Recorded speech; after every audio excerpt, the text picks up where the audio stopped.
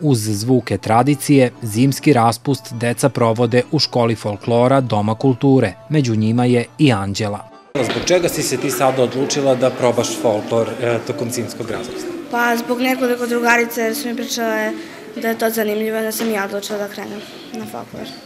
I kakva su sada prva iskustva? Eto, već ste imali jednu probu? Da, baš mi se sviđa zanimljivo mi je. Hoćeš li nastaviti Da. i posle? Da. Tokom ove škole maličani uče različite igre i osnovne folklorne korake. Mogu da kažem da je odziv ove godine stvarno veliki, imamo oko 30 novih polaznika. Ovaj, za ovih nedelju dana koliko traje božićna škola folklora, učit ćemo neke osnovne stvari folklora. Dvokorak, trokorak, neke pesmice, igrice. Koliko najmlađi vole folklor svedoči i činjenica da su sa onima koji su prvi put u folklornoj sali i deca kojima tradicionalne igre nisu nepoznanica. Ja se bavim folklorom već pet godina i krenula sam u zabavištu.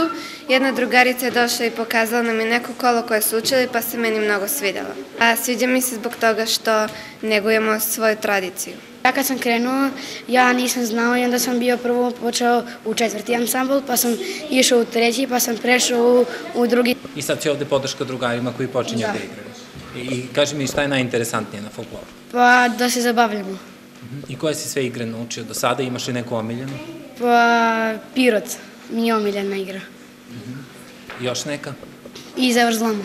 Oko 50% dece koja pohađaju ovu zimsku školu nastavi da se bavi folklorom i posle toga. Kad se završi božićna škola, ovaj, imamo anketu i svako ko želi, ko hoće da nastavi da igra, izjasni se i upis nam je od sledeće nedelje po završetku škole.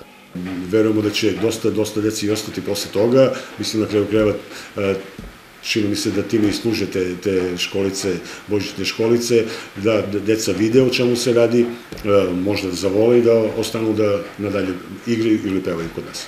Osim ove, Dom kulture u sklopu Božićne škole organizuje i školu horskog pevanja.